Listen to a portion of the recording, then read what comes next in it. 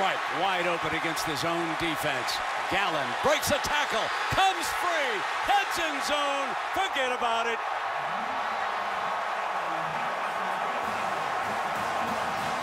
That's what bad tackling will do to a defense. A 61-yard touchdown on first down. Gardner to his go-to man of a year ago when he quarterbacked five games to close out the season. Jeremy Gallon.